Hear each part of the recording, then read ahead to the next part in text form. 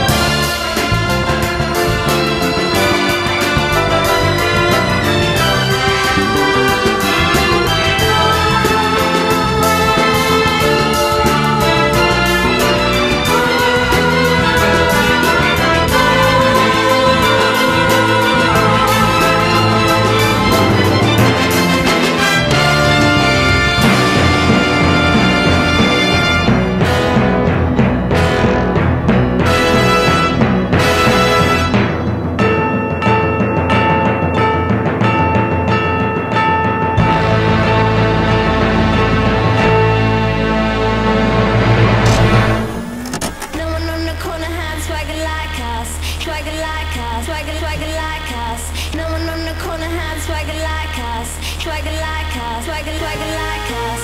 No one on the corner had swagger like us, swagger like us, swagger, swagger like us. No one on the corner had swagger like us, swagger like us, swagger, swagger like us. No one on the corner had swagger like us, swagger like us, swagger, swagger like us. No one on the corner had swagger like us, swagger like us. Hey, enjoy. That's the main thing I'm gonna tell you right now is have fun.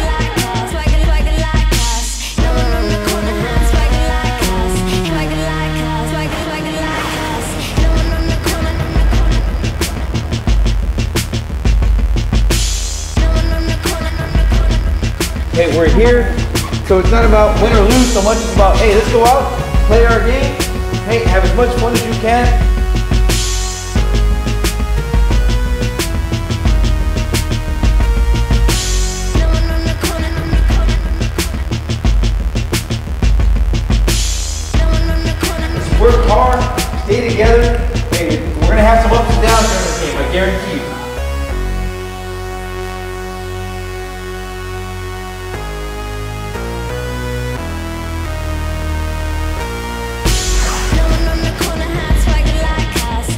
gotta be able to, you know, not get too low and not get too high and stay right in that medium. And let's see if we can get to the end.